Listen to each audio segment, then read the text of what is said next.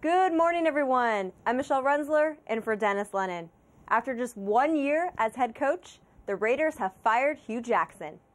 Raiders' new general manager, Reggie McKenzie, is already making bold moves in his very first week as GM. After starting the season 7 and 4, the Raiders lost four of their final five games. That marks their ninth straight season without a winning record or a playoff berth. And so the Raiders start their search for a new head coach. While the Raiders look forward, the Niners were looking back yesterday.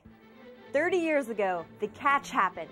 Dwight Clark leaped high into the corner end zone to get a Joe Montana pass to give San Francisco a 28 to 27 win in the NFC Championship game.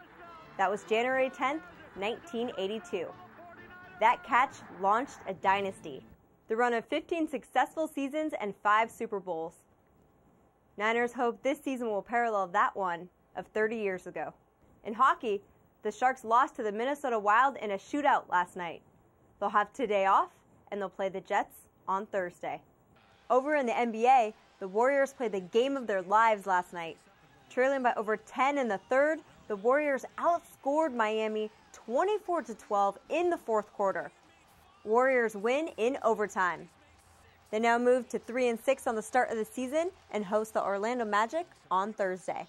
That's it for now. We'll be back with more sports at 5, 6, and 11.